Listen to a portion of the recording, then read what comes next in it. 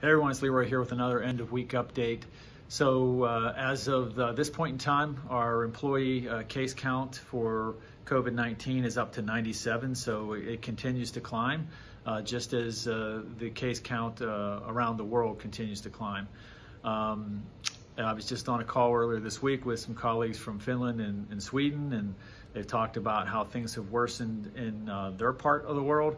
And I think uh, really across the board, that, you know, with everything that, that you hear, um, it's happening everywhere, right? So it's just another reminder of, again, the diligence that we all need to deploy to ensure our own personal safety, our family safety, uh, and our colleagues' safety. So uh, on the good news front, right, there's there was some good news this past week about a potential vaccine uh, in development that uh, looks like it might be just around the corner.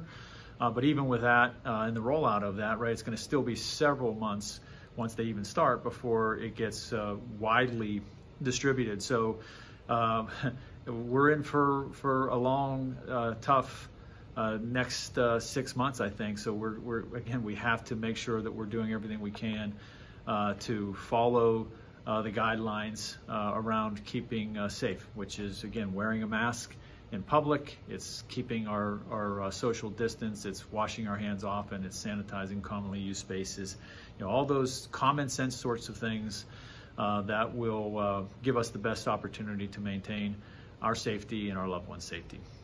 This past Monday, our culture and engagement team hosted a virtual coffee talk for working parents.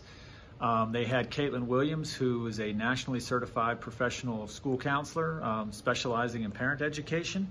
Um, she was on to uh, to share uh, tips and and, uh, and, and engage in Q and A with uh, the folks who were able to participate. So I thank everybody who who was able to get on and uh, take advantage of of that great series. Um, we're going to continue to look for opportunities to do uh, additional coffee talks moving forward. Um, for again the working parents who are dealing with stressful situations, um, please stay connected on the Working Parents channel of our One Koppers uh, app. Uh, there's uh, plenty of folks out there who are doing a fantastic job in terms of sharing tips, uh, providing support, um, and even having special breakout groups to uh, to talk about specific situations that, that they might be dealing with as as uh, as working parents going through the pandemic. So again, take advantage of the resources that are there for you. Um, and we're doing everything we can to try and uh, support our working parents out there um, so you can keep your sanity during these tough times. Over the last three days, we were able to bring over 120 leaders from around the globe uh, into our virtual Zero Harm Forum. Um, we were hoping to get together this past April uh, in person, but obviously that couldn't work with the pandemic. So we organized uh, three straight days, three two-hour sessions over over a three-day period uh, to bring that group together to cover a number of different important topics. But really, for this year, it was all about getting back to to, to basics and really defining um, what it means to be a leader uh, in Koppers, aligning. Um, expectations uh, for for our leadership group around the world, and uh, it was just a great a, a great uh, a great three days. I mean, we were able to to talk about leadership, IND, uh, sustainability, um, get into you know the company's purpose, and even a little bit of strategy. So, uh, fun time. Um, it was great engagement all the way around. Um, Joe Dowd and, and Dan Groves and their teams did a fantastic job of organizing the conference. So right now, um, we're going to be looking forward to the feedback from the participants. There will be a Glint survey going out over the next week.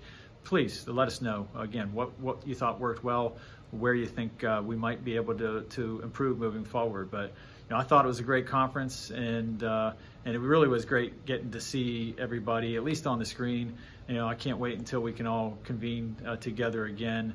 Um, but at least that is you know something that will sustain me for a little while moving forward uh, until we can. So uh, thanks for all the participation from everybody, and uh, again, uh, look forward to hearing your feedback. As I close out this week's message, I want to give a shout out to Gail Sharp from our Marlow, UK location, who uh, today on our One Koppers team app reminded everybody that it's World Kindness Day. So, in that spirit, I urge everybody to do at least one random act of kindness today uh, for a stranger or, again, somebody you know and love.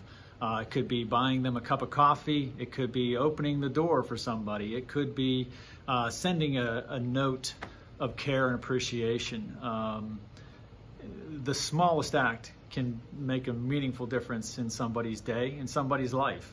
Uh, letting them know that, that you care and that there still is a lot of goodness out in the world.